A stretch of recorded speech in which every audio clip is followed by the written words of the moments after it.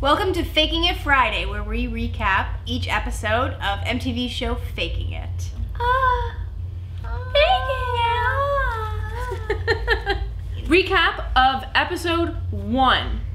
We watched the online version of episode one, and all the swearing was bleeped out. I don't know if that was the same for everyone. What's the point of adding f***ing swear words if you're just gonna f***ing beep them out anyways? I liked the show the minute it started because it had a really sexy girl in bed. Where was this school when I went to high school? Because if being gay makes you popular, I would have been the most fucking popular kid in the history of high school. Of the world. Of the world. Really. It's very set up right from the beginning that Karma and Amy are very different. Even the shot of the mother with the herbal tea and the other mother steam cleaning with her wicked pantsuit, they come from different worlds. Karma is a lipstick lesbian and Amy is a femme. Completely fucking different. This is like Romeo and Juliet. It's a disaster waiting to happen. So, episode one, Amy's plan is that she wants to get invited to Shane's party, who is a gay man and is best friends with Liam. For this recap, we're gonna call Liam douche face. I would call him hottie douche face, but whatever. We're introduced to Amy's evil stepsister, who calls Amy and Karma lesbos, which Shane overhears and then invites them to his wicked cool party because he wants some lesbian friends. Okay, I remember being in high school and I never wanted to be invited to any house party because they scared the fucking shit out of me. I remember being in high school and desperately wanting lesbian friends. So at the party, Shane asks Amy who went under the covers first, whatever that means. I know what that means. Because Shane is craving lesbian energy. Join the club, Shane. I always want lesbian energy. And then he says, I won't blab, Scout's honor. Then three fucking seconds later, he tells the entire school that they're gay. The biggest blab. Apparently, Scout's honor doesn't mean anything at all. One of the things we were kind of a little bit pissed about in the episode is that Shane outs the two of them, which is something you should. I don't care how fucking liberal your school is, don't do that. And obviously, Karma, the straight girl, has to go for the biggest douche in the entire school. When she has the most perfect girl right in front of her the entire time. Like, what are you thinking? You're not. So basically, the entire episode, Karma and Amy are in some kind of fight. Pretty much Faking It Fridays is just going to be recaps of Amy and Karma scenes. We don't have time to watch all the Well, that's all we care about. Because really, there's only going to be 10 minutes of Amy and Karma scenes and then 10 more minutes of rewinding kissing scenes. So I mean, it's quite obvious, and you know, they alluded that Amy's gonna be the gay one, but Karma is really good at faking being a lesbian because she has a line when she says, "Oh, I made your favorite tuna salad."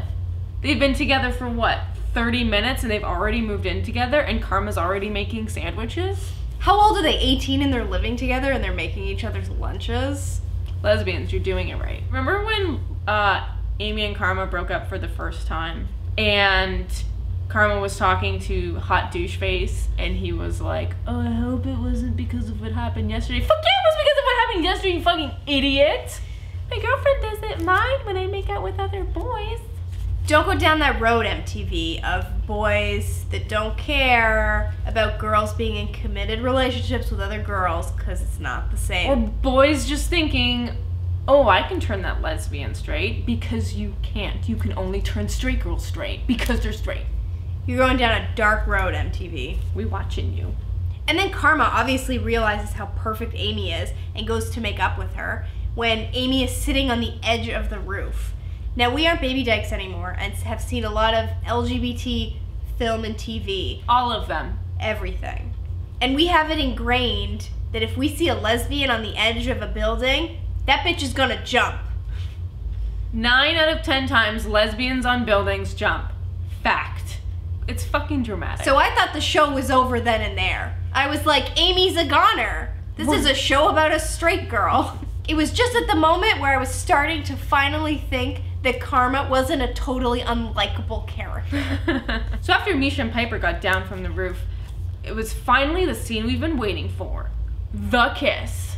It took faking it 19 minutes and 29 seconds to show the two girls kissing. I lost track of how long it took Glee. And then they took an obvious dig at Glee because after Amy and Karma kissed, they cut to these cheerleaders in Cheerio uniforms. It was pretty obvious. So we're gonna give our ratings for episode one of Faking It. My rating for this episode is a C cup because it is much bigger than I expected. And I give it a B cup because I wanted a little more, but I still got something. Thank you for watching our Faking It Friday recap. Don't know what that was for. Now we're gonna be doing videos Monday, Wednesday, and Friday, so I'm sorry, that's a lot of us. You're screwed. And what would you rank this episode? A cup being there's something there, and double D being it's way too fucking much.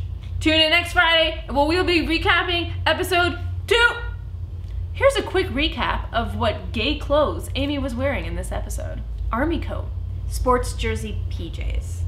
overalls, A donut shirt with a cardigan.